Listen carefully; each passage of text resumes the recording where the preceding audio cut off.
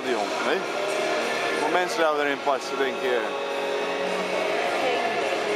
Ah, dan wat denk ik.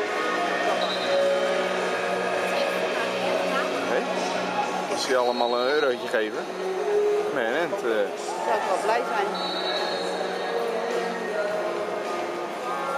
Wij zijn al wat vreterij, eh, weet ik het allemaal.